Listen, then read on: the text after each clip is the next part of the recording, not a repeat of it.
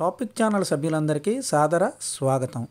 ఈరోజు ఆరోగ్యమే మహాభాగ్యం టాపిక్లో మీకోసం ఉగాది పచ్చడి దాని తాలూకా విశిష్టత గురించి మనం చెప్పుకుందాం. ఉగాది పచ్చడి తయారు చేయడానికి మనకు కావలసిన పదార్థాలు ఏంటనేది మీ అందరికీ తెలుసు. వేప పువ్వు చెరుగ్గడ బెల్లం అరటిపండు మామిడి చింతపండు మిరపకాయ ఉప్పు. ఈ పదార్థాలతో నార్మల్గా ఉగాది పచ్చడిని తయారు చేస్తారు.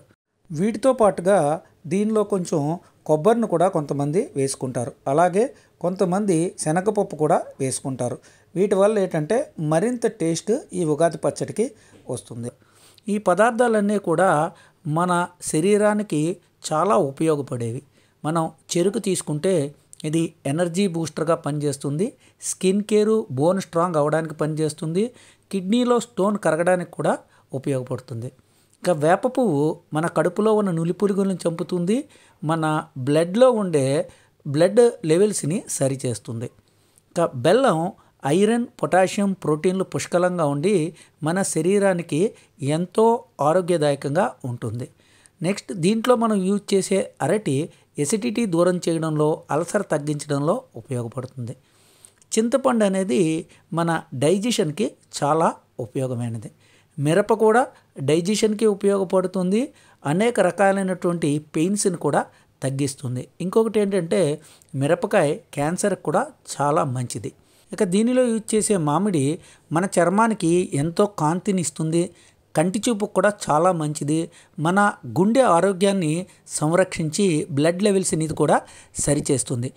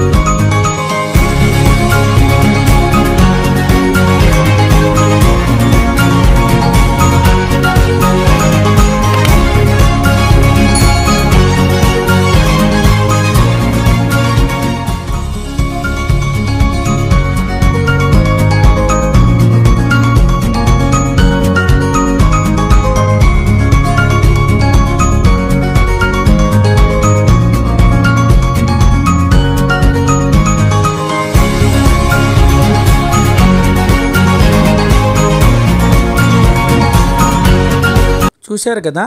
ఈ విధంగా ఈ ఉగాది పచ్చడి మన శరీరానికి కావలసినటువంటి రోగ నిరోధక శక్తిని అందిస్తుంది. ఇది ఒక్క ఉగాది రోజే కాకుండా ఉగాది నుంచి శ్రీరామనవం వరకు అంటే తొమ్మిది రోజుల పాటు ఈ ఉగాది పచ్చడిని తీసుకోవడం వల్ల మన శరీరానికి కావలసినటువంటి పూర్తి రోగ నిరోధక శక్తి మనకి అందుతుంది. ఈ ఉగాది పచ్చడి తింటున్నప్పుడు మొట్టమొదటిగా మన నాలుగుకి ఏదైతే టేస్ట్ తగులుతుందో ఈ సంవత్సరం అంతా అదే విధంగా మనకు నడుస్తుందని ఒక నమ్మకం అయితే ఉంది. మీరు కూడా మీ ఉగాది పచ్చడి తిన్నప్పుడు మీకు ఏ టేస్ట్ అయితే కలిగిందో అది కామెంట్లో తప్పక తెలియచేయండి. మీకు కానీ ఈ వీడియో నచ్చినట్లయితే లైక్ చేయండి కామెంట్ చేయండి షేర్ చేయండి. సబ్స్క్రైబ్ చేయడం మాత్రం మర్చిపోకండి. సబ్స్క్రైబ్ చేసినప్పుడు పక్కనున్న బెల్ సింబల్ని నొక్కండి. అలా నొక్కితే నేను చేసే ప్రతి వీడియో మీకు నోటిఫికేషన్ రూపంలో వస్తుంది. మరో మంచి టాపిక్తో మళ్ళీ మనం కలుసుకుందాం. ఇట్లు మీ శ్రీరామ్.